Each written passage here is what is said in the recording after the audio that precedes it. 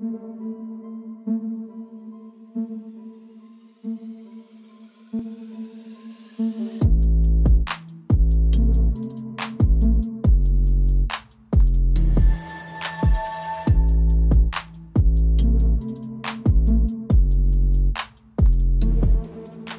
a todos, me llamo Esther Mingorance, eh, soy profesora en el Centro Universitario de Plasencia y formo parte del grupo de investigación de DAP. Y en conjunto con otras compañeras vamos a desarrollar este taller que espero que disfrutéis, que hemos titulado Manos arriba, esto es una pandemia. La palabra pandemia, aunque la utilizamos hoy en día continuamente y con muchísima frecuencia, no es reciente, no se ha acuñado hace poco, se viene usando desde hace mucho. ¿Por qué? Pues porque ya ha habido otras pandemias con anterioridad a este COVID-19 os voy a hablar de tres pandemias anteriores a esta actual que estamos viviendo del COVID que también causaron estragos en su momento. Empezamos con la peste negra. La peste negra, a diferencia del COVID, está causada por una bacteria, no por un virus. Y esta bacteria infectaba a las pulgas de las ratas.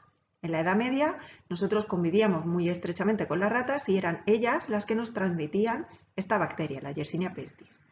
Eh, Comentaros que la reducción en la península ibérica fue muy drástica. Hubo una elevada mortalidad debido a esta peste negra. Otro ejemplo de pandemia es la causada por el virus de la viruela. La viruela eh, es un virus que nos ha infectado desde hace muchísimo tiempo. Se han descubierto momias que tienen signos de viruela. O sea que imaginaos cuánto tiempo hace que venimos peleando o que veníamos peleando con este virus de la viruela. La viruela ha generado distintas pandemias a lo largo de la historia de la humanidad en, distintas épocas. Si bien la diferencia que se nos presenta con respecto a otras pandemias es que esta enfermedad, la viruela, ya ha podido ser erradicada. De hecho, la Organización Mundial de la Salud confirmó su erradicación en 1980 gracias al trabajo de un científico, Edward Jenner, que creó la primera vacuna, la primera vacuna de todas las vacunas, la primera vacuna moderna, vamos a decir, ¿Qué ha conseguido este hecho? Que a cerrar este breve repaso de pandemias os voy a hablar de la gripe española. La gripe española fue la más reciente de estas tres pandemias de las que os he hablado. Se produjo a primeros de 1900 y se llamó gripe española porque en esa época España era el único país que no tenía censurada la prensa y había libertad para hablar de esta pandemia. Y por eso se la llamó la gripe española. Sin embargo, ya os digo, no tiene nada que ver con España, salvo que aquí se podía hablar de ella. El primer caso en concreto se detectó en Estados Unidos, estaba causado por un virus, eh, el de influenza virus, el virus de la gripe, en concreto por el H1N1, que ese virus tiene capacidad de mutar, como muchos virus, y eh, de hecho nosotros anualmente nos vacunamos, de hecho estamos en campaña para vacunarnos del virus de la gripe porque este virus suele mutar con cierta frecuencia y hay que enseñar a nuestro sistema inmunitario cuáles son las distintas variaciones que puede tener para que lo reconozca y se pueda enfrentar correctamente a él. Vamos a entrar ya de lleno a hablar un poco sobre el COVID-19. El COVID-19 es un virus y el problema que tenemos los humanos con los virus, con las bacterias y con todos aquellos seres vivos que son muy pequeñitos es que no los podemos ver Igual que yo veo un perro por la calle, no puedo ver un virus porque es tan pequeñito, tan pequeñito que necesito una herramienta para hacerlo grande y verlo, para aumentar su tamaño y poder verlo. Esta herramienta son los microscopios. Dentro de todos los organismos que no se ven a simple vista y que necesitamos microscopios para verlos, tenemos dos fundamentales. Por un lado los virus y por otro lado las bacterias. Las bacterias son mucho más grandes que un virus de hecho, en esta diapositiva podéis ver, esto es la punta de un alfiler visto a un microscopio y todas estas cositas amarillas que veis que parecen como aspirinas, como píldoras, son las bacterias. Imaginaros cuántas bacterias caben en la cabeza de un alfiler, cuán de pequeñitos son. Bueno, pues los virus, incluidos el virus del COVID, son más pequeños todavía que estas bacterias. El COVID, como todos los virus, eh, no se puede replicar sin estar colonizando una célula hospedadora. No se multiplica por sí solo, no tiene esa capacidad. Necesita siempre infectar a una célula para poder multiplicarse, para poder tener, entre comillas, descendencia. ¿Qué sabemos del COVID? Bueno, pues el COVID es un virus envuelto, quiere decir que tiene una membrana que lo recubre, que tiene una nucleocápside y que esta nucleocápside es la que encierra su material genético, en este caso un ARN de polaridad positiva, se puede transcribir directamente cuando infecta una célula. También tiene una serie de proteínas insertas en su membrana. Destacamos la S de la espícula, la M, la E de la envuelta y la hemaglutinina. La hemaglutinina es importante junto con la S para adherirse a la célula hospedadora, para unirse e iniciar su infección. Una aclaración para seguir. El COVID-19 hace referencia a el virus. También podemos eh, hacer referencia a él eh, como el SARS-CoV-2. La COVID, determinante femenino, habla de la enfermedad. El COVID es el virus, la COVID es la enfermedad que produce este virus. Seguimos con los síntomas. No voy a parar mucho aquí porque yo creo que todos conocemos perfectamente los síntomas. Muy importante tomar la temperatura diario. Eh, hacer un seguimiento de si tenemos o no tenemos fiebre, de la tos y los cansancio articular. Hay otros síntomas que son menos frecuentes, pero que también se han descrito. La falta de olor o la falta de gusto, y mucho cuidado con aquellas personas que tienen patologías previas, por ejemplo, patologías relacionadas con enfermedades cardiovasculares, enfermedades respiratorias o con diabetes. En estas personas eh, el virus puede afectar más gravemente y puede tener un cuadro bastante más complicado. Sobre cómo se transmite el virus, creo que todos tenemos ya una idea bastante clara de cómo se transmite. Eh, se transmite fundamentalmente por la vía aérea. Al hablar, al toser, generamos gotículas y aerosoles. Esas gotículas y aerosoles portan el virus y cuando caen sobre personas, sobre la mucosa de personas sanas, sobre su boca, sobre su nariz o sobre sus ojos, se pueden infectar. Esta es la vía más común de transmisión del COVID. Sin embargo, está en estudio otras muchas vías. Por ejemplo, eh, cuando nosotros tocamos una superficie, si yo me toco mi mucosa y estoy enferma de COVID y me toco mi ojito y toco la mesa, estoy depositando virus en la mesa. Todos estamos muy relacionados con una serie de palabras que se utilizan a la hora de hablar de pruebas de detección del virus, del COVID. Seguro que os suenan las pruebas de detección de antígenos, las PCRs y las serológicas. Eh, esos son los tres tipos de pruebas que hay actualmente para detectar el virus. Pero cómo se toma la muestra para hacer esta prueba y qué eh, está buscando esta prueba eh, son completamente distintas en unas y en otras. Vamos a ver si arrojamos un poquito de luz en este sentido. Vamos a, a profundizar un poquito más en cada una de estas tres pruebas. Empezamos por la detección de antígenos virales. Acordaros que con estas pruebas buscamos en la muestra que nos han tomado en nuestro organismo buscamos la presencia del virus, buscamos la presencia de alguno de sus componentes, algunos de sus antígenos virales. Eh, normalmente, al menos eso pienso yo, es la menos conocida de las pruebas, se hace mediante una técnica muy concreta, que es una inmunocromatografía, y eh, una de sus eh, deficiencias, una de sus carencias, es que tiene baja sensibilidad. Quiere decir que ofrece un alto número de falsos negativos. Es decir, que damos a una persona un resultado de que es negativo, pero es falso, es positivo. Es una de las pequeñas pegas que tiene esta prueba de antígenos virales. No quiere decir que no sea eficiente. Cada una de las pruebas es muy eficaz en un momento concreto de la infección. Entonces, no hay que descartar este tipo de pruebas. Pero sí es importante saber si soy positivo en una de ellas, qué está indicando. En este caso, en el caso de la prueba de antígenos virales, ser positivo me indica que tengo el virus presente en el momento de la toma de muestras en mi organismo. Con la técnica PCR ya sabemos que necesita un paso previo porque estamos hablando de un virus que es ARN y no podemos realizar la PCR directamente. Entonces tiene un, un paso previo que es transcribir, pasar ese ARN a ADN y sobre ese ADN ya se puede hacer la reacción en cadena de la primera sala PCR. Entonces el nombre correcto sería RT-PCR. Comúnmente todo el mundo la conoce como hacer la prueba del PCR o hacer la PCR. ¿Qué detecta esta prueba? Esta prueba detecta en mi organismo la presencia directa del virus, detecta su material genético.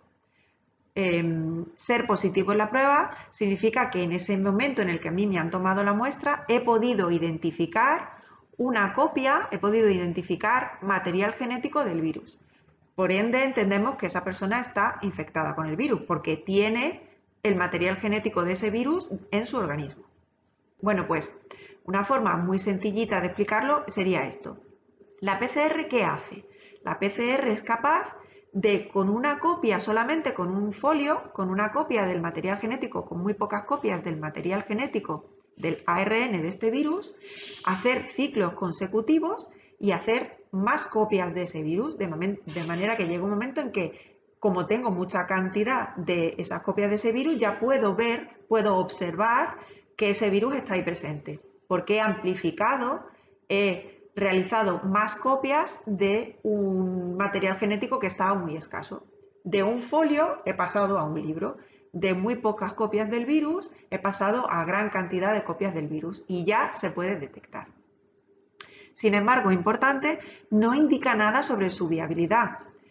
Ser positivo en PCR quiere decir que eh, han encontrado en mi organismo su material genético, pero no dice nada si ese eh, virus es capaz de infectar o no, simplemente que su material genético estaba en mi organismo.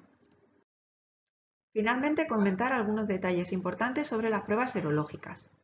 Las pruebas serológicas se realizan mediante una técnica, que es la técnica del ELISA, em, y lo que detectan no es la presencia del virus, ni sus antígenos virales, ni su material genético, como es el caso de lo que hemos visto en las pruebas anteriores. Lo que buscamos en este caso es la reacción que genera nuestro cuerpo, nuestro sistema inmunitario, cuando entra en contacto con un patógeno. Nuestro sistema inmunitario, como os decía, es el, encargado de responder frente a los distintos patógenos que nos pueden infectar. Una de sus respuestas, uno de sus elementos, es la generación de anticuerpos. Los anticuerpos son proteínas, insisto, específicas, generadas en concreto para cada uno de los patógenos con los que nuestro cuerpo ha entrado en contacto. ¿vale? Entonces, tenemos cinco tipos distintos de antígenos. Sin embargo, las pruebas serológicas se realizan para buscar antígenos específicos frente a COVID eh, solamente de, los tipos IgM e IgG. Porque además dan información mm, distinta cada uno de ellos. Una persona que ha estado en contacto con el COVID y que tiene una infección aguda, que ahora mismo está infectado, tenga o no tenga sintomatología, pero que está infectado actualmente, tendrá un nivel muy elevado de IgM porque está en una fase de infección aguda.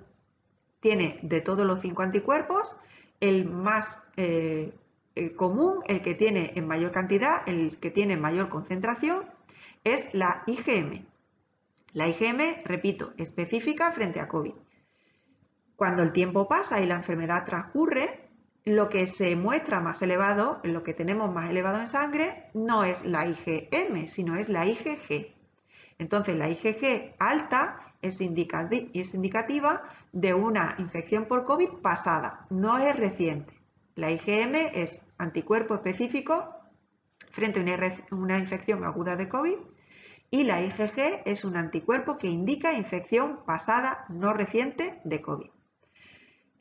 Insisto, la importancia de ser positivo en una prueba serológica quiere decir que yo, si tengo la IgM alta, estoy en contacto con el virus y mi cuerpo ha reaccionado. Si tengo la IgG alta, quiere decir que he estado hace tiempo en contacto con el virus y mi cuerpo ha reaccionado. Como veis, en los dos casos no se busca la presencia directa del virus, simplemente se busca la reacción inmunitaria en nuestro organismo. Como hemos visto, nuestro sistema inmunitario eh, genera una respuesta eh, frente al COVID y a lo largo del periodo de enfermedad se va pasando por fases diferentes. Cada una de las tres pruebas que hemos visto son muy útiles y son importantes realizarlas en periodos concretos de la enfermedad. No tiene sentido, y vosotros lo entenderéis muy bien, que si yo entro en contacto con el COVID en el minuto 1, me hago una prueba serológica en el minuto 2 y ya de la IgM alta. Mi sistema inmunitario es muy bueno, pero no es tan rápido. En la parte final del taller no me voy a parar mucho, porque entiendo que esta parte es la que más conocemos todos. ¿Cómo me protejo? Ya lo sabéis, la higiene de manos, frecuente lavado, no me voy a parar en eso. Mantener la distancia, ya lo sabemos. Usar mascarilla, también protegerme la boca y la nariz con pañuelos, desecharlos cuando estornudo. En fin, ventilar los lugares en los que nos encontramos. Todas estas medidas las sabéis perfectamente, pero con que las sepamos no quiere decir que no las llevemos a cabo. Al revés, tenemos que ser conscientes cada día de que estas medidas las, que, las tenemos que tomar todos los días y de manera muy responsable.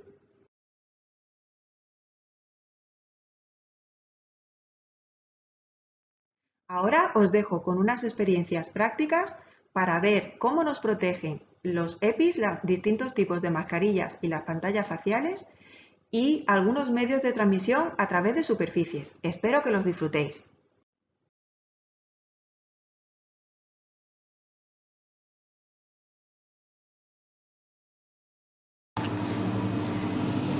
FP2 homologada de tela normal quirúrgica y pantalla.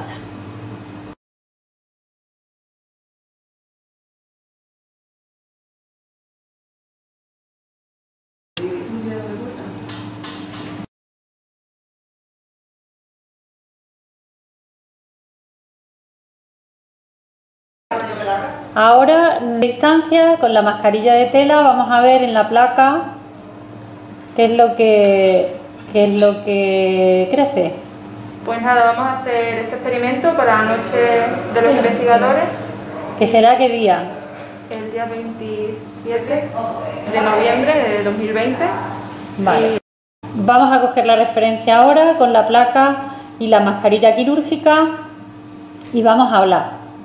Pues nada, comunicaros que nosotros somos científicos, que formamos parte del grupo de investigación de DAP, que desarrolla su actividad en la, unidad, en la Universidad de Extremadura. Y que os animamos a que participáis de esta actividad y que la disfrutéis tanto como nosotros la estamos disfrutando. Probamos ahora la eficacia de las mascarillas FFP2 bueno, pues este taller lo, vamos a, lo hemos preparado para que veáis la importancia de utilizar una mascarilla correcta y para que os sirva para cuando tengáis que tomar la decisión de cuál comprar. Pasamos a ver la eficacia de la pantalla facial cuando estamos hablando. Pedí primero distancia y ahora empezamos a hablar. Bueno, estas pantallas faciales pues son muy útiles para según qué actividades y lo que vamos a hacer con esta, con esta experiencia es ver qué es lo que se transmite a la placa llevando puesta una pantalla facial.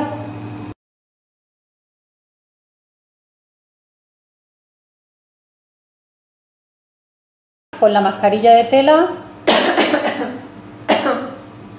a 20 centímetros. Muy bien. Referencia que es una cuarta, ¿vale? Y ahora tosemos con la mascarilla quirúrgica puesta.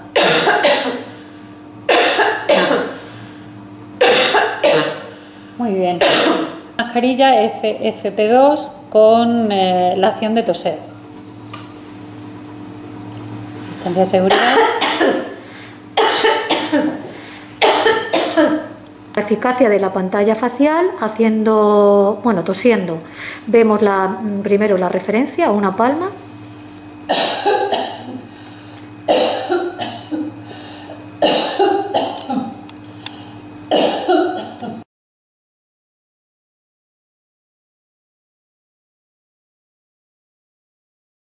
Sí, sin mascarilla.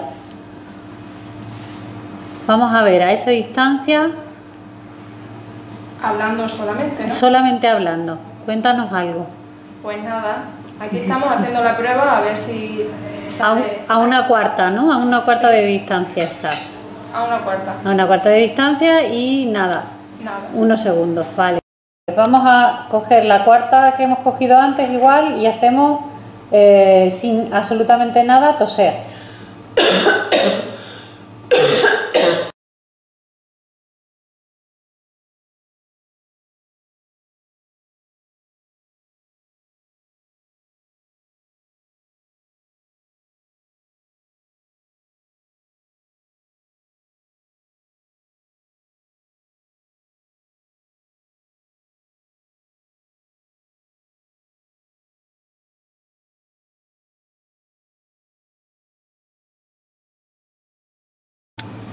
En esta experiencia comprobamos con la luz de bus que la mascarilla está libre de gérmenes. Vale. Hemos contaminado el pomo de la puerta con un eh, producto que simula gérmenes, pero que no son gérmenes en realidad y podría simular pues una infección por COVID, aunque efectivamente este líquido no es ni muchísimo menos un virus. Mis manos para iniciar la experiencia en principio están limpias. Con la luz de bus observamos que no tienen en principio nada. Yo entro en la clase normalmente y no se ve la contaminación del pomo. Cuando salgo de una manera normal y vuelvo a entrar, si apago la luz, podemos ver que mi mano se ha infectado de lo que había en el pomo de la puerta, se ha impregnado. Claro, si normalmente decimos, ay, que se me baja la mascarilla, ah, por Dios, y me la vuelvo a tocar, y bueno, ay, Dios mío, qué calor hace. Bueno, bueno, pues si ahora me iluminan con la luz de luz, cierra los ojos. Cierren los ojos porque son luz ultravioleta, ¿vale? Vemos que efectivamente está todo contaminado. Con esta experiencia lo que nos, podemos dar cuenta es que, sí, que, que algo que, que, está contaminado podemos llevarlo perfectamente cerca de nosotros a la mascarilla, a nuestro ambiente, incluso un lápiz que cojamos ya quedará totalmente manchado, el, el móvil, eh, los utensilios de diario que pensamos que no tienen por qué estar contaminados, pues podrían estar contaminados. Y hay que tener mucho cuidado y insistimos en el lavado de manos como medida de prevención para que esto no ocurra. Si yo tengo mi mano contaminada, pues lo que debo de hacer es lavarlo con agua y jabón en el procedimiento que os hemos explicado en la, en la charla o bien utilizar eh, los geles hidroalcohólicos si no tenemos acceso a, un, a una fuente de agua.